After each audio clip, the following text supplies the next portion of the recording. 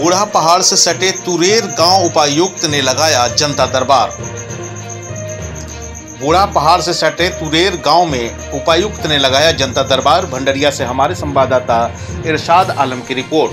गढ़वा जिला के सुदूर प्रखंड बड़गढ़ के टेहरी पंचायत के बूढ़ा पहाड़ स्थित गाँव में आपकी योजना, आपकी सरकार, आपके द्वार कार्यक्रम के तहत उपायुक्त के द्वारा जनता दरबार लगाया गया।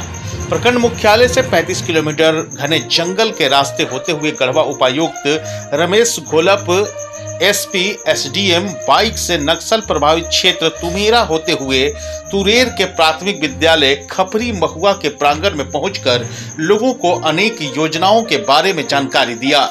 राशन, पेंशन, शिक्षा सभी महत्वाकांक्षी योजनाओं के बारे में जानकारी दी गई।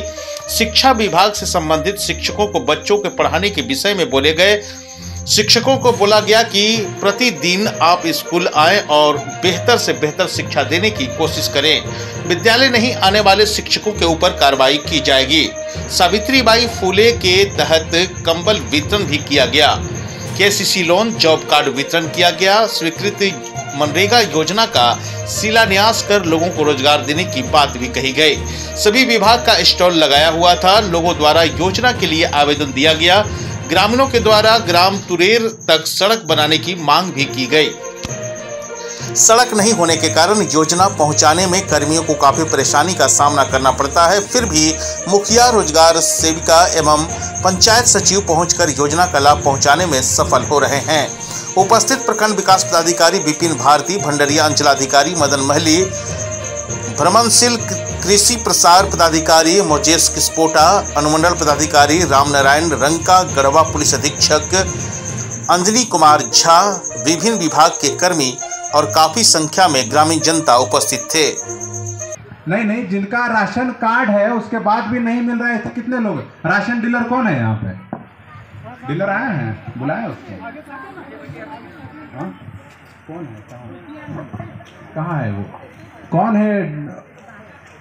जो राशन दुकान चलाते हैं वो कौन है? यहाँ पे आइए जरा।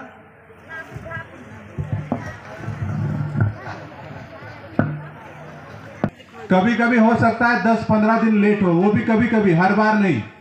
कभी कभी होता है। और हर महीना आपको जिनके पास राशन कार्ड है लाल कलर का, उस राशन कार्ड में जितने लोगों का नाम है, जैसे मान लिया जाए कि चार लोगों का नाम है तो हर एक आदमी को पाँच पाँच किलो मिलना चाहिए। तो चार आदमी का बीस किलो हो गया।